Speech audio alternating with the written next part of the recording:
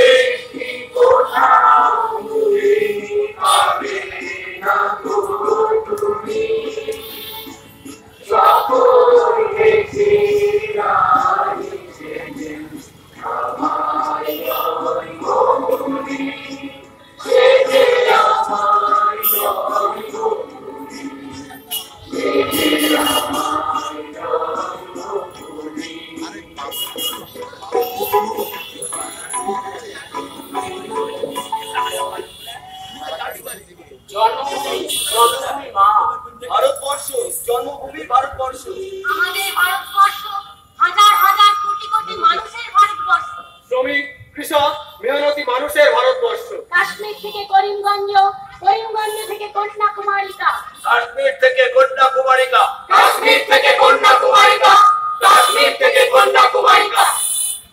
অসংখ্য মানুষ মানুষ না মানুষের প্রেতচ্ছায়া কতগুলো শুকনো কঙ্কাল আকাশের দিকে হা করে তাকিয়ে থাকা। রুক্ষ রুষ্ট রিক্ত চিহ্ন আশা নেই ভরসা নেই।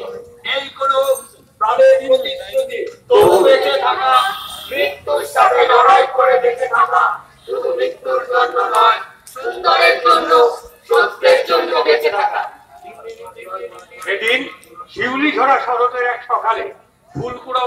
করিমগঞ্জের হাটে তোর কাছে রাখ না। দাঁড়িয়েছিল গ্রামের মানুষ। দূরে দূরে গ্রাম দশ বারো খানি মাঝে একখানি হাট। সন্ধ্যায় সেটা জলে না প্রদীপ প্রভাতে করে না ঝাড় যদিও রোজকারের মতো আদিবাসী মেয়েরা পলাশ ফুল মাথায় গুঁজে নিয়ে এসেছিল বইচি ফলের পশোটা। করিম চাটে এনেছিল গামছা বনে শহরের কেরোসিনে ঘরে আলো জ্বলবে বলে। সেদিন হাতুড়ে ওষুধের চিৎকারে মিশে গিয়েছিল গাজীর কণ্ঠ আর বাউলের গান।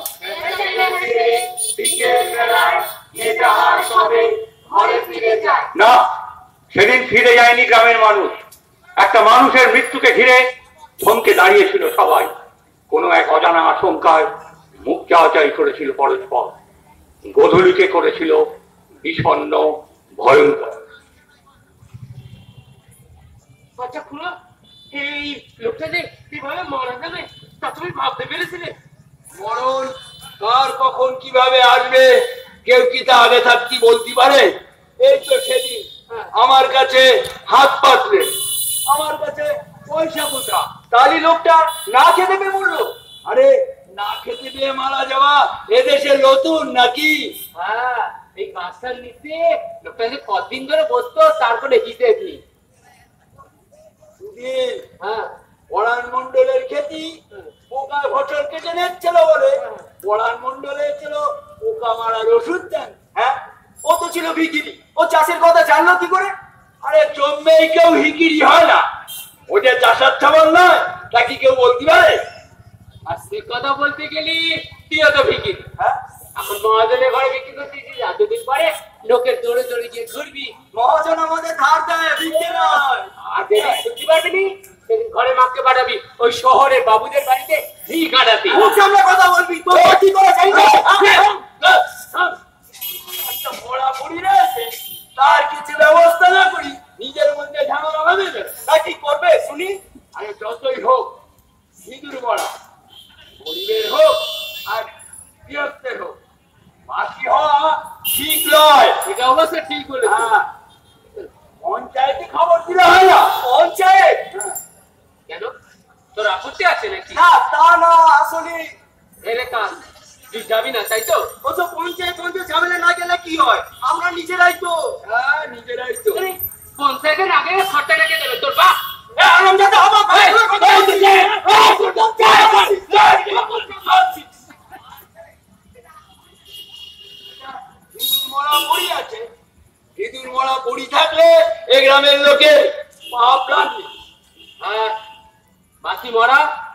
অকল্যাণ আনে। চলো চলো চলে চলে কিছু বলবি আচ্ছা চাচা এই রাস্তাতে হিদু তা ওরা কি করে জানলে? ওকে তো দেখেছি ওই ভুটিয়া শরীফের দরজায় গিয়ে চিরাগ ভাসাতে।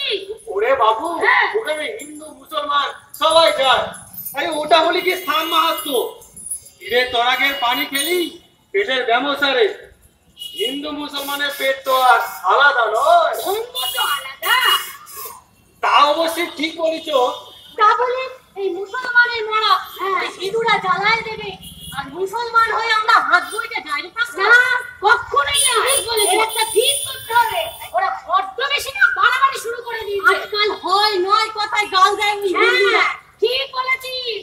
ওদের একটু উচিত শিক্ষা দেওয়া দরকার আছে। সেদিন জানো? হ্যাঁ। ওই স্কুলের মাস্টার হ্যাঁ। আমার মেয়েটারে সারা দিন কাম করে দাঁড় করায় রাখলে। তাই? বলতে গেলাম বাবা কি রোয়া তা তুই থানায় গেলি না কেন? থানা? হ্যাঁ কোথায় আছো তোমরা? হ্যাঁ ওই থানার বড় বাবু শুনবে আমাদের কথা? ঠিকই বলেছিস। থানার বড় বাবুরা না এখন আমাদের কথা শোনে না। কিন্তু সে নয় হলো। এখন কি করা যায়? আচ্ছা একবার ইমাম সাহেবের কাছে গেলে হয় না? না না ইমাম সাহেব নয়। কি তিনার উপর মতো চারিদিকে? শুনেছি। ওই আরব থেকে নাকি টাকা আসে তাই? সত্যি মিথ্যা জানি না। হ্যাঁ। তাহলে তাহলে এখন আমরা কি করব? কি করবে? হ্যাঁ। চলো একবার একবার মহিলার কাছে যাই।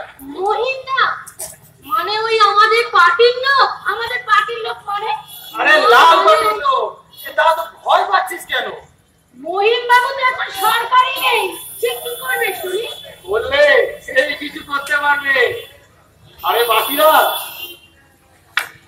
থাক চলো তাহলে চলো, চলো চলো, চলো চলো।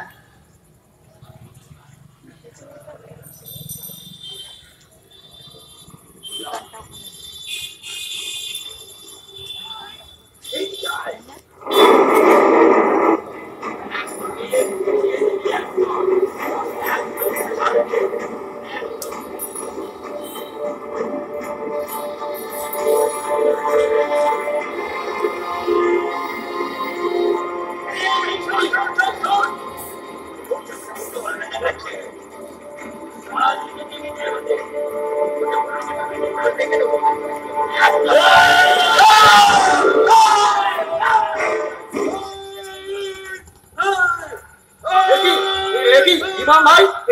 কি- হয়েছে? কি ব্যাপার? আপনি এত ছুটছেন কেন? আপনার কথাই তো হচ্ছিল। হ্যাঁ আমার কথা। হ্যাঁ। আমার কথা কেন হবে? আমি একজন অতি সাধারণ মুসলমান। আমার কথা কেন হবে? না ঠিক আপনার কথা নয়। আসলে আমরা একটা সংকটের মধ্যে পড়েছি। সম্পদ হ্যাঁ একটা। লাশ পড়ে আছে। হ্যাঁ। হিন্দুরা বলছে ওটা নাকি ওদের। হ্যাঁ। বুঝেছি। দাঙ্গাটা তার মানে হবেই দাঙ্গা? কি বলছে? ঠিকই বলছি। কদিন ধরেই তার প্রস্তুতি চলছে। তোমরা জানো না দারোগা বাবু সকালবেলা এসে বলে গেছে আজ থেকে মাইকে মসজিদে আজান দেওয়া বন্ধ। হ্যাঁ? আমরা তো অঘর মাত্র মুসলমান তাও তাও তাও তোকে আমি বলেছিলাম না ওরা বড্ড বেশি না হিন্দু হয়ে গেছে বুঝেছিস সবাই না সবাই না ওই কিছু হিন্দুরা বড্ড তেমরা আহ, তোমরা দেখোনি আজ সকালে তিনজন ন্যাড়া মহান্ত গ্রামে গ্রামে ঘুরে কোথাকার ওরা? আমি জানি না। কিছু জানে? আমি মহিমের কাছে গিয়েছিলাম। সে বলেছে আমার সাথে থানায় যাবে। কিছু একটা ব্যবস্থা সে করবে আমায় কথা দিয়েছে। তাহলে এখন আমরা কি করব? হ্যাঁ কি করব? চলো একবার লাস্টার কাছে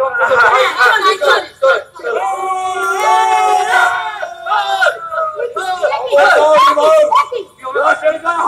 যাই।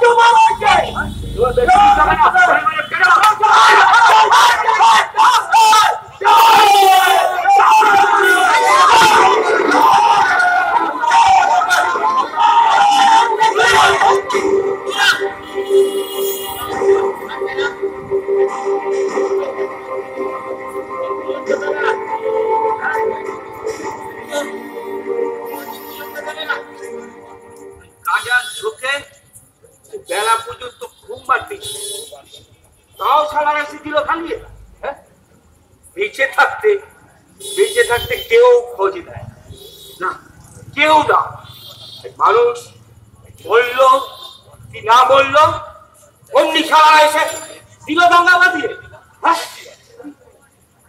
মরার আবার জাত দিলে মরার আবার জাত দিল হ্যাঁ? পুত্রে গরব সে কাহো কেন কেন রে? আমার কি জাত চলে গেছে? আমার কি জাত চলে গেছে? আমাকে এখন ধরে ধরে। ধরে ধরে হেঁটে কি বলি, বেড়াতে হবে। আরে আমি হিন্দু গো। আরে আমি হিন্দু। এখন এখন না, সবাই সবাই ওই হিন্দুদের কথা বলে, মুসলমানদের কথা বলে। কেউ মানুষের কথা বলে মানুষের কথা বলে না। মানুষ তো মানুষ তো একদিন ছিল। মানুষ একদিন ছিল। তারা ওই জীবান্তর যেত। হাসিতে ঝুলতো।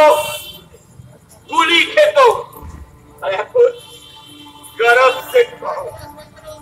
শুনে রাখ। শুনে রাখ আমি বলছি আমি মানুষ। আমি মানুষ।